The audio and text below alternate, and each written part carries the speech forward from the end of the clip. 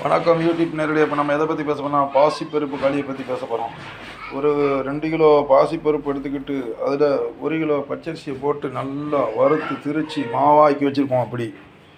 இந்த மாவு அரை கிலோ மாவு எடுத்துருக்கோம். அதில் அரை கிலோ மண்டாளத்தை பாவு காய்ச்சிருக்கோம்.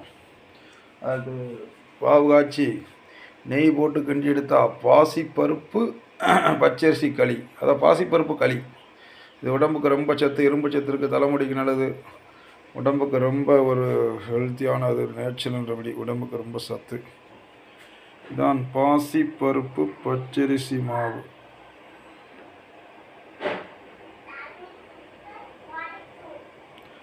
பச்சையாக தெரியுது பாருங்க. இது நல்லா இப்போ மண்டலம் குவிச்சு அந்த மாவை போட்டு கிண்டி நெய் ஊற்றி எடுக்கும் நெய் தான் ஊற்றணும் இதான் பாசிப்பருப்பு களி.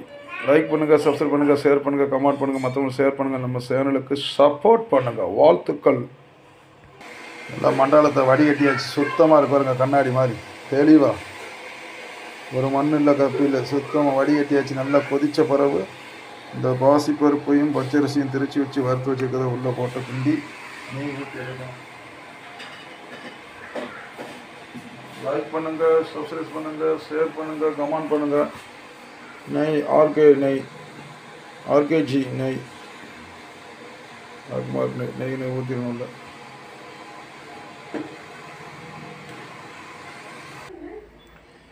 ஏலக்காய் ஒரு அஞ்சாறு ஏலக்காவை தட்டி போட்டு ஏழு ஏலக்காய். ஏழு இல்லை பத்து பன்னெண்டு. நல்லா அஞ்சு. நல்லா விதைய உடச்சி உள்ளே போடணும். நல்லா மண்டாளம் பொங்கி வருது. பொங்கி வரும். இந்த மாவு உள்ளே போட வேண்டியதான் லைக் பண்ணுங்கள் சப்ஸ்கிரைப் பண்ணுங்கள் ஷேர் பண்ணுங்கள் கமெண்ட் பண்ணுங்கள் வாழ்த்துக்கள். ஏலக்காய் உள்ளே போட்டாச்சு.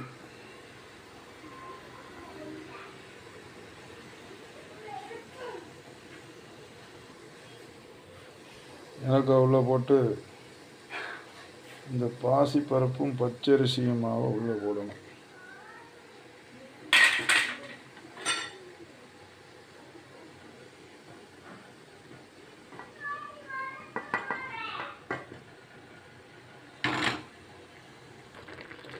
நல்லா கொதிச்சு வருது. நல்லா கொதிச்சு வந்தோன்னு கிண்ட வேண்டிதான். குண்டு குண்டு குண்டு குண்டுன்னு உடச்சி விடணும் இந்த கட்டிகளை பூரா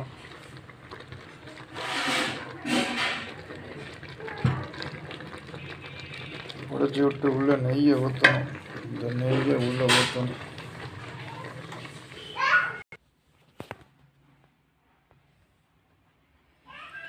நெய்யை நல்லா ஊற்றியாச்சு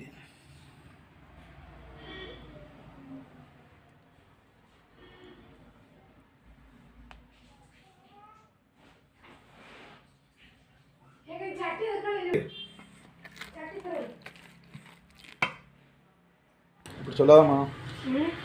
இதான் நான்ஸ்டிக்கில் மாற்றிட்டோம் நல்லா கட்டியாக வந்துருச்சு களி. இதான் பாசிப்பருப்பு பச்சரிசி களி நெய் களி. நெய் கால் லிட்டர் நெய் கூட ஊற்றலாம் அரை லிட்டர் நெய் கூட ஊற்றலாம் எவ்வளோ கோல் நெய் ஊற்றிடலாம் அவ்வளோ டேஸ்ட் அதிகரிக்கும். நாங்கள் கொஞ்சம் தேங்காய் நெய்யும் நெய்யும் மிக்சிங் பண்ணியிருக்கோம். கிண்டிக்கிட்டே இருக்கட்டும் லைக் பண்ணுங்கள் சப்ஸ்கிரைப் பண்ணுங்கள் ஷேர் பண்ணுங்கள் கமெண்ட் பண்ணுங்கள் வாழ்த்துக்கள் சொல்லுங்கள் மற்றவங்களுக்கு ஷேர் பண்ணுங்கள் ஆ இதான் பாசிப்பருப்பு பச்சரிசி களி. லைக் பண்ணுங்கள் சப்ஸ்கிரைப் பண்ணுங்கள் ஷேர் பண்ணுங்கள் கமெண்ட் பண்ணுங்கள் வாழ்த்துக்கள்.